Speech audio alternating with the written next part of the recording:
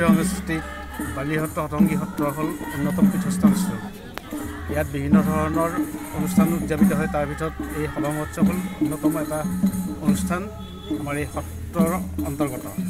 আৰু এই অনুষ্ঠানত আমি যি পৰম্পৰাগতভাৱে যি আৰিয়া বুলি এবিধ বিশেষ চাকি জ্বলোৱা হয় যিটো গোটা হৈ সদা জ্বলোৱা হয় যিটো অসম তথা ভাৰতবৰ্ষত বিৰল। অকল অসমত অসমৰ এই বালিসত্ৰতহে এই আৰিয়া নামৰ এই বিশেষ চাকি জ্বলোৱা হয় য'ত অসমৰ বিভিন্ন প্ৰান্তৰ ভক্তসকলৰ এক নিৰ্দিষ্ট মানস লৈ পেলাই লৈ ইয়াত এই চাকি গুচি জ্বলায়।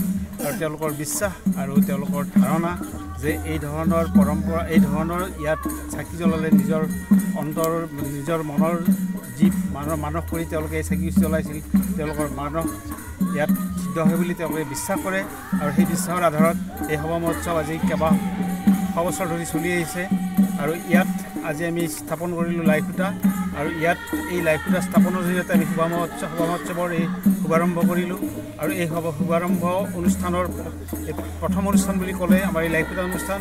ইয়াক ধৰ্মীয় পৰম্পৰাৰ ভিত্তিত এই অনুষ্ঠানৰ এই লাই খুঁটা স্থাপন কৰা হয় আৰু ইয়াৰ পৰা আমাৰ সভা মহোৎসৱৰ কাম আৰম্ভ হয় আৰু আজি ইয়াৰ পৰা আৰু যি ডেৰ মাহ আছে এই ডেৰ মাহৰ ভিতৰত আমি ইয়াত সভা মহোৎসৱকে আদি কৰি গোটেইখিনি কাম আমি সমাপন কৰিবলৈ আৰম্ভ কৰিম। আৰু আজিৰ পৰা আমাৰ এই সভা মহোৎসৱৰ সকলো যাৱতীয় কাম কাজৰ শুভাৰম্ভণি হোৱা বুলি ক'ব পাৰি।